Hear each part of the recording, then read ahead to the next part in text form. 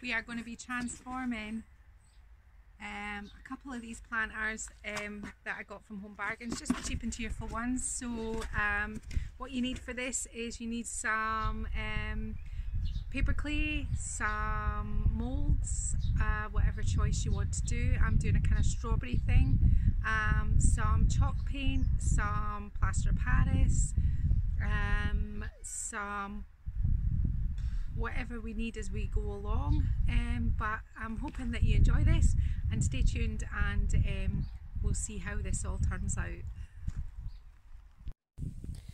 So what I've done is I've already cast these moulds out of paper clay and I've got two different sets sitting on some paper plates. I've got leaves on one and I've got strawberries on the other and there's the strawberries and I'm going to glue them onto the plastic planter with wood glue. Wood glue is as good as any. What I've done is I've rubbed the planters down with some steel wool so they've got some teeth.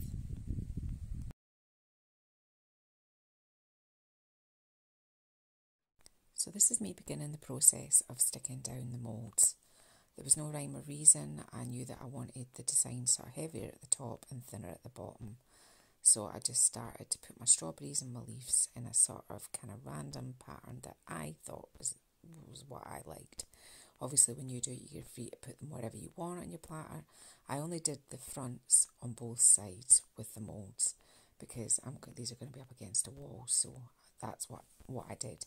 So there they are. That's it glued on, and I continue really on with this um, to do both planters. Um, you can see what I'm doing. I'm making sure I'm applying plenty of glue. I'm applying glue to the piece. I'm applying glue to um, the back of the um, mould itself, and these were quite soft moulds, so I was being pretty careful with them. I hadn't done them that long before I started filming, so they weren't they hadn't really formed a sort of skin, so I was being quite quite ginger with them and not making sure that I didn't squish them, but obviously trying to make sure that um, everything was all nice and stuck down. So that's what I did with the two planters.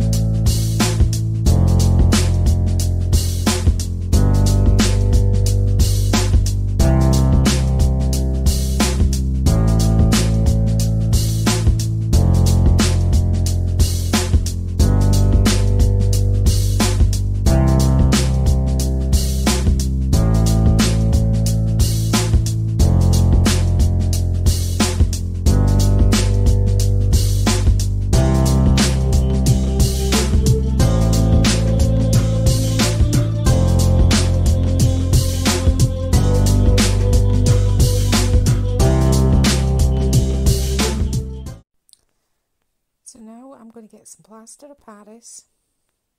That's me showing you the tub, like a hand model. Uh, Rust-Oleum chalk paint in antique colour. So a little bit of water in a plastic container. And a nice squidgy brush. So now what I'm about to do is mix it all. So I've got my little bit of water and what I've done is I start with a little bit of plaster Paris first, mix it through and then a little bit more until it becomes quite thick. Not too thick and then a good dollop of white chalk paint. Now the reason why I'm putting plaster Paris into this, into the chalk paint, even though chalk paint will stick on plastic, is to, to give it much more, um, not only texture, but it it's it really does adhere really really well to plastic it isn't coming off so um, the, the first thing I do is I'm painting these planters with my base coat of white.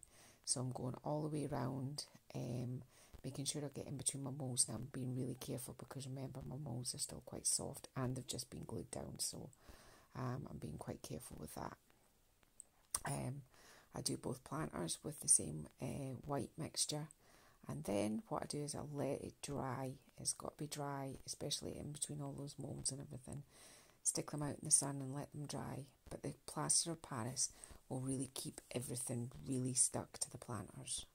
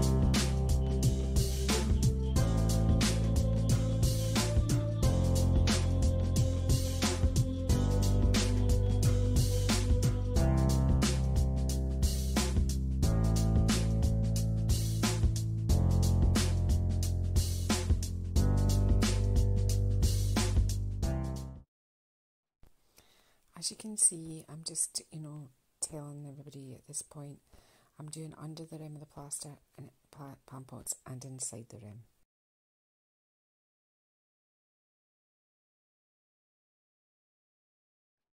Okay, so this is where it gets interesting. I've got some red and some brown um, and a little bit of ochre and I've mixed a sand, uh, sort of terracotta, sort of sandstony colour and what I'm doing is I'm applying to the plant pot. Now I did put some more plaster Paris in it because I want that texture. I want it to look like it's terracotta. So, or at least thicker than the plastic, put it that way. So, um, what I'm doing is I'm putting it on and I'm just kind of like, no, I'm not wiping it all back away. I'm not, I could do that, but I'm not. I'm just giving it a little bit of a wipe just to kind of wipe it back a little bit. And I go on and I do both planters with the same mixture and then I'll let it completely dry again.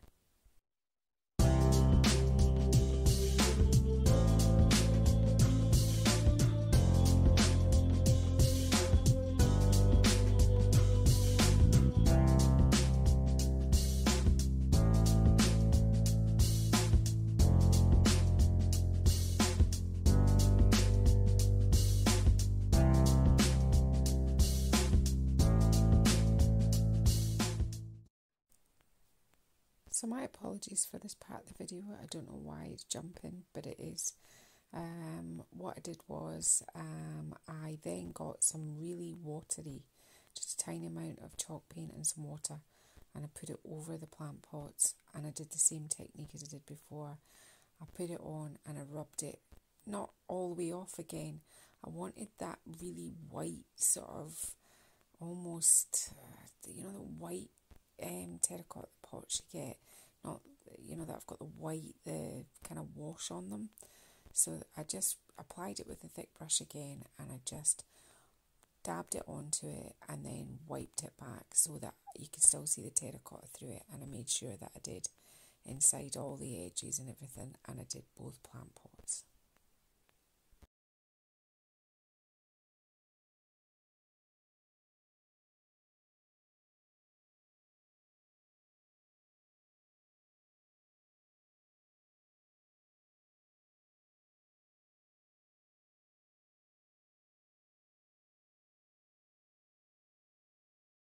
Now here's the fun bit. What I did was I got some. I decided I wanted my strawberries to look a little bit just more kind of like raspberries, not quite strawberries, and not quite sure, but I didn't want it bright, bright red because the wash was so pale. So I've got some red um, in my palette on my paper plate here and a little bit of green. And what I'm doing is I'm almost using the paint like watercolours. I've got lots of water, you can't see it, it's off camera. I'm just dipping my brush in my paint and dipping my brush in the water to cover the moulds, making sure that I cover them all, making sure that I go around all their edges. Um, and then you'll see me going along and putting sort of darker highlights here and there where they need them. Painting, and there's a white flower in each one. Um, so painting in the flowers and um, doing all these different things just to finish that off. That's me doing the flower. And I just repeat the, two pieces on both pots and the top bit along the rim and I do the second pot as well. Um, and this is me just moving on to the second pot. Now, at this point in time, they're all done, they're all dry, and I'm putting a, a vinyl on it, um, not a stencil, a vinyl. Now, there was a few bits where, because the paint was so, um, I hadn't had time to cure, where it kind of took the, the paint off, but I quite liked it, so I did go back and scrape some bits um, around the edges and things just to give it a little bit of kind of shabby and but I decided on pick your own and I just picked a font that I liked and um, that I could use and um, this is me literally just applying um, the stencil onto the plant pots and you'll see me in a minute um, doing the other one um, and that once the, once they were done uh, what I did was I made sure I gave them a coat of um, spray sealer. I let that dry and then I gave them another coat of spray sealer and I let that dry and then I just left them in the greenhouse to, to completely cure and they're still curing at the moment. Um, and once the paint's all dried and the plaster's a chance to settle and everything's all cured, they'll be ready just to use as planters. It won't matter if they get water on them. They can be outside. You can do whatever you want with them. But I, I hope you've enjoyed this video today. I'm sorry it was all so much of a voiceover. I had my little granddaughter, so it was uh, quite noisy in the background, and I was doing a lot of singing and talking to her. But um, hopefully you've enjoyed it, and if you have enjoyed it, feel free to subscribe. I'd really like that, or share it with somebody that you think might like it too. And uh, don't forget to push the bell notifications so you can see when I upload another video. Thank you very much.